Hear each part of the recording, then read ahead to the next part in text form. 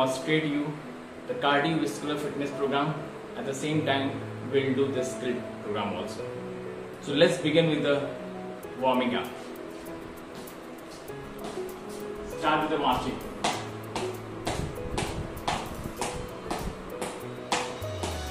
Knee up.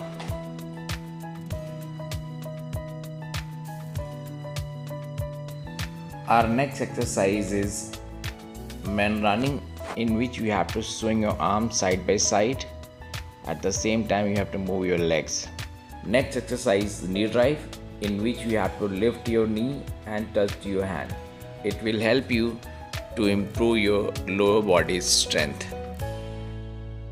To perform ski hops you have to balance yourself very well. This is the best exercise to improve your quadriceps and hamstring muscles. Flexibility is a very important part of physical fitness component. I would say that side leg raises will really help you to improve your mobility. At the same time, it will make your body flexible. Our next exercise is lateral step reach in which you have to bend your knee and you have to alternate touch your hands with your toes. Make sure while doing exercise, kids have to balance themselves.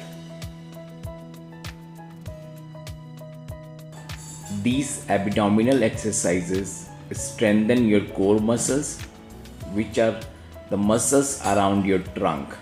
Mountain climber is the exercise which help you to improve your leg and core muscles.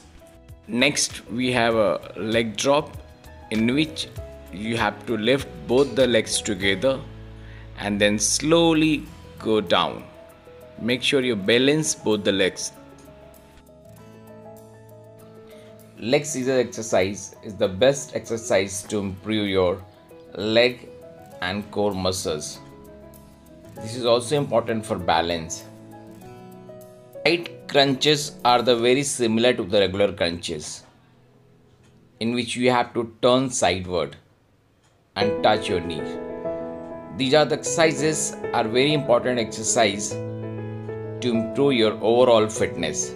Stay fit, stay healthy. Thank you so much.